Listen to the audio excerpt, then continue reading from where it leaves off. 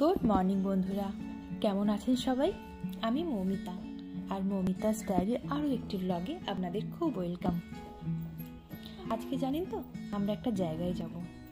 সেটা হচ্ছে বড় কাছারির মন্দির ডোডোর নামে প্রথমবার পুজো দিতে। চলুন রেডি হয়ে নিই সবাই। এরে ঘণ্টা বাবাটা কই ঘণ্টা বাবা। রেডি হয়ে গেছি। এবার ওয়েট করছি, কিছুক্ষণের মধ্যেই আমরা সবাই বেরোবো। সকাল সকাল বেরোচ্ছি, অনেকটা রাস্তা তো। এই মন্দিরটা হচ্ছে বেহালার ঠাকুর পুকুর আছে, সেখান থেকে অনেকটা ভেতরে ঢুকতে হয়। তো অনেকটা টাইম লেগে যায়।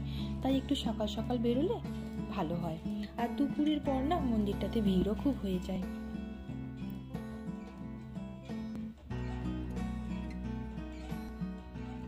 দেখুন ব্যাগপত্র সব রেডি পুজোর অনেক কিছু জিনিস নিতে হয়। সব নিয়ে আমরা রেডি তোজও একদম রেডি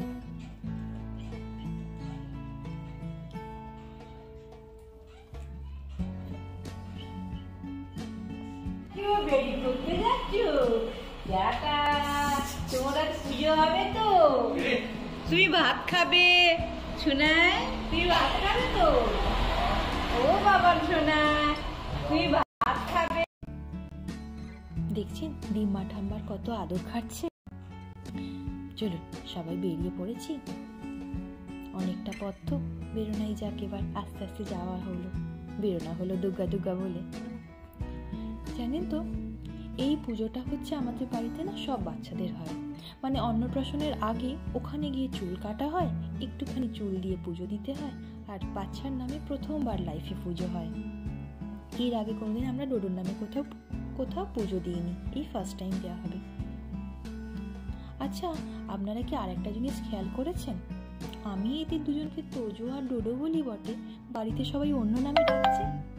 কারণ ওর বাড়িতে নাম হচ্ছে মানে ডাক নাম হচ্ছে উলুবেরিয়াতে তোজোর নাম হচ্ছে পোস্ত, আর আপনার ডোডোর নাম হচ্ছে চিকু, পোস্ত আর চিকু। তবে মামুনি ওদেরকে ডাকে পাপান আর বাবান। তাই একটু আগে ডোডোকে না বাবান বলে আদর করছিল। এটা হচ্ছে ঠাম্মার দেওয়া নাম পাপান আর বাবান। আবার ওদিকে দিম্মার দেওয়া মানে আমার মায়ের নাম কি জানেন? পুটান? সরি পুটাই আর পুটান। মানে তোজো হচ্ছে পুটাই আর ডোডো হচ্ছে পুটান। আমরা সেকেন্ড ব্রিজ ক্রস করে গেলাম। এখনও অনেকটা আছে।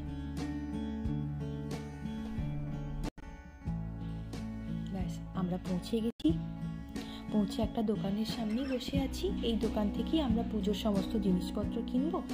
আর এদিকে দেখুন তো যে সুযোগ পেলেই না ভাইকে একটু করে আদর করে নিচ্ছে। এখানে সবার মাঝে না ভাইকে সবসময়ও পাচ্ছে না ঠিক করে। এই দোকানেই একজনকে ঠিক করা হয়েছে যে এসে ওর চুলটা কেটে দেবে মানে ওকে নেল বানিয়ে দেবে। আর কিছু বাজনা বাজানোর জন্য লোক ডাকা হয়েছে, তারাও একটু পরে বাজনা বাজাতে শুরু করবে।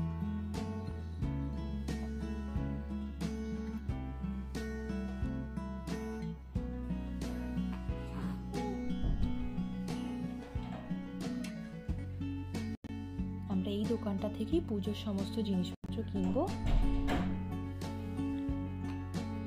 অনেক কিছুই জিনিস আছে।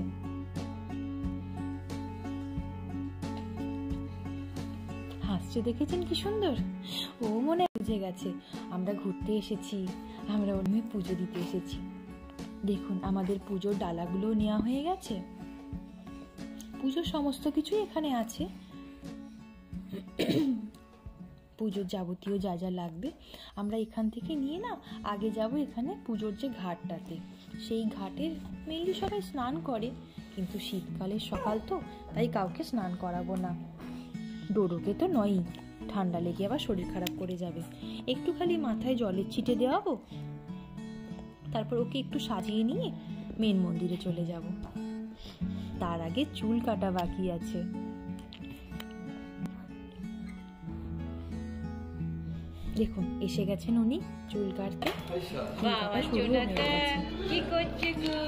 আমার বাবার চুলু কীরকম?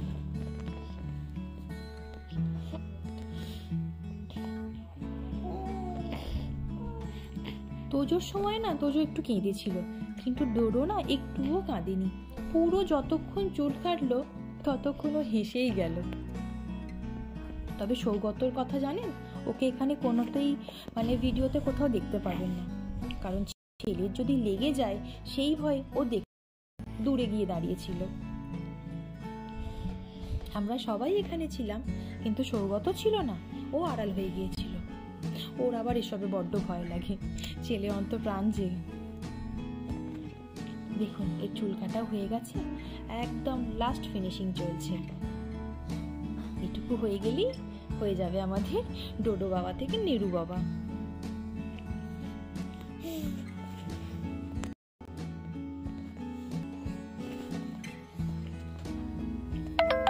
দেখুন, দেখছেন? নিরু বাবাকে কেমন লাগছে দেখতে? এসে গেছি আমরা ঘাটটাতে। অনেকেই এখানে স্নান টান করছে।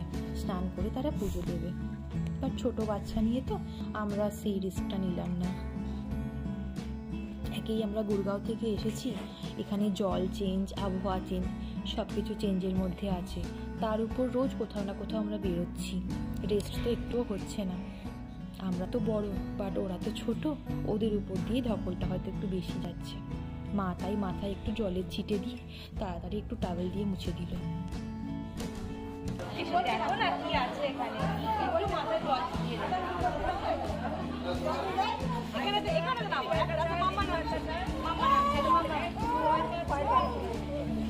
আরে ও এই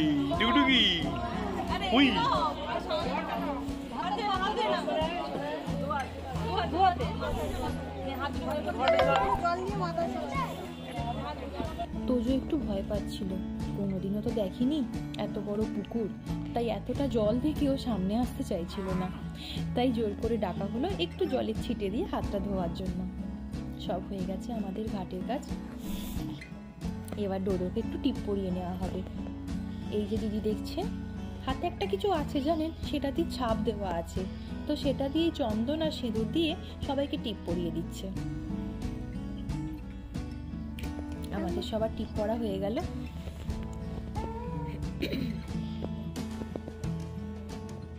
এবার ডোরোরটা বাকি।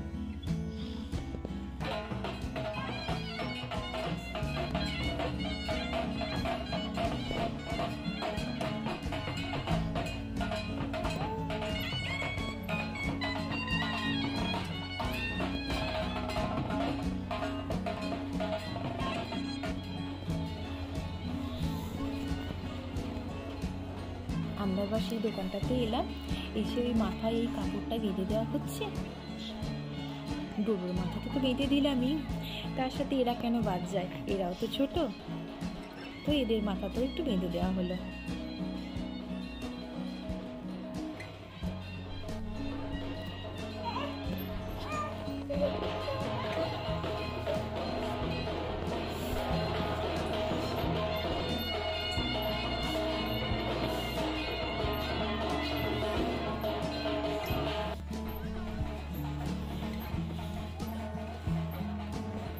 সবাই মিলে একটু নাচ করাও হয়ে গেল।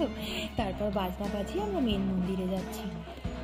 মন্দিরের ভেতরে না ফটো তোলা নিষেধ তাই মন্দিরের ভেতরে আমরা কোনো ভিডিও করিনি।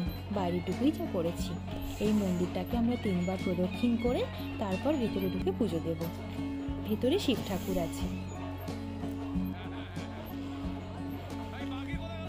চলুন, আমাদের তিনবার প্রদক্ষিণ হয়ে গেছে। এবার আমরা পুজোটা দিয়ে নিই। পুজো দেওয়াও হয়ে গেল।